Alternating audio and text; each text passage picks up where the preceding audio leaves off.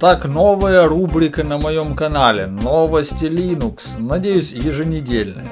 Я хотел было назвать ее Linux Панорамой или вроде того, но подумал, что ежели человек захочет узнать новости про Linux и вобьет это в поиск, то ему выдадут что угодно, но только не мою программу. Поэтому новости Linux. Как обычно, что касается и других передач на моем канале, я освещаю что-то не для галочки, а что мне самому интересно. Сегодня коснусь недавнего кипиша с разработкой ядра Linux, когда исследователи из американского университета Миннесоты, вот видите, какой радостный у них сайт, так вот, они посылали разработчикам ядра Linux патчи, якобы с исправлениями, а на деле вносили в код уязвимости. Все это с одобрения университетского начальства ради написания исследования под названием «О возможности незаметного внедрения уязвимости в программное обеспечение с открытым кодом посредством подставных комитов». Вышла работа за подписью профессора Канжилу и Куиши Ву. Что и как именно внедряли в ядро исследователей?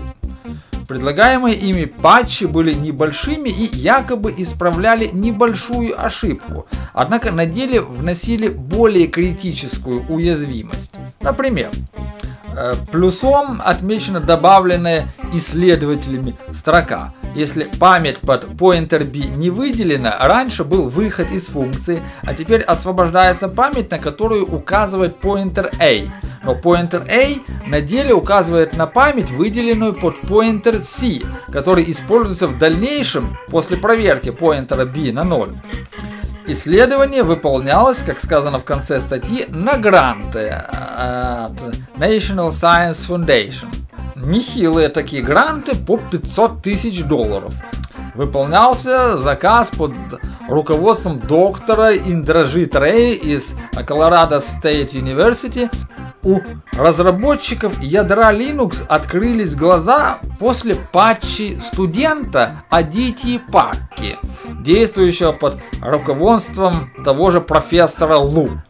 Уже после завершения упомянутой исследовательской работы Адитья Пакки продолжал слать в ядро подставные патчи, якобы созданные уже в рамках работы над новым статическим анализатором кода – Подстава была уже настолько очевидной, что разработчики заподозрили неладное, и затем от Грега Кроа Хартмана, мейнтейнера стабильной ветки ядра, последовало публичное в списке рассылки разработчиков ядра разоблачение Адити и профессора.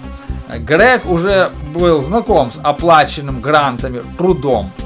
Адити Паки, однако, продолжал упорствовать и писал, что я с уважением прошу вас прекратить и воздерживаться от диких обвинений, которые граничат с клеветой.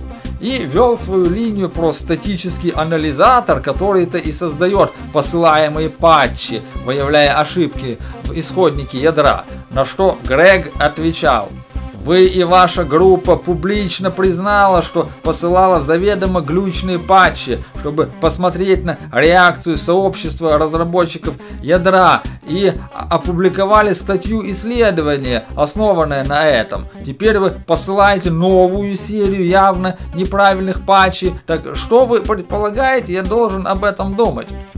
Далее Грег пояснял, почему патчи не созданы никаким анализатором и под конец сообщил, что впредь никакие патчи от университета Миннесоты приниматься не будут, а университетские люди забаниваются. Однако позже выяснилось, что глючные патчи слались также с адресов Gmail левых аккаунтов. Теперь разработчикам предстояло вытащить из исходника ядра весь внесенный патчами глючный код, который уже успел, однако, попасть в стабильные ветки ядра. Профессор Лу и студенты разместили на университетском сайте разместили на университетском сайте открытое письмо, где утверждали, что посланы были всего три намеренно ошибочных патча, и разработчики ядра их отвергли в процессе обсуждения, а вот 190 других патчей не касались исследований и были настоящими исправлениями ошибок.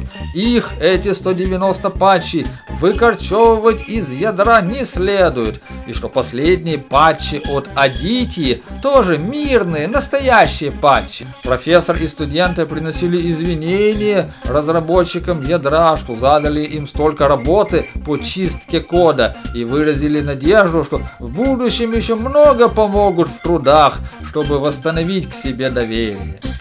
Спустя два дня, 26 апреля, профессор и студенты подали заявление на отзыв своей исследовательской работы. Интересно, вернут ли они миллион долларов двух грантов? Еще через день, 27-го, выложили свое 16-страничное исследование на GitHub. 16 страниц за миллион долларов, Карл! В тот же день университет Миннесоты официально обратился к Linux Foundation. Письмо их вкратце можно пересказать так. Простите, такое больше не повторится. Я намеренно не отзывался на эти события, чтобы не разгонять, но сейчас уже можно. Ведь что произошло? Если бы разработчики ядра молча забанили университетчиков и все порешали, не возникла бы шумиха. А шумиха на этот счет выгодно противникам Linux. Так бы никто не обратил внимания на эти 16 страниц стоимостью в миллион долларов а пошла цепная реакция, в том числе по лояльным к сообществу Linux ресурсам, и теперь все, кому не лень, могут смеяться над легковерием разработчиков ядра и кивать на научные исследования. Вот, мол, как просто внести ошибки в Linux и программы с открытым кодом.